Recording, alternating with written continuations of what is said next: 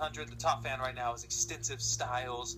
Oof, you're six away from 300. We got Extensive, Styles. We got Aya.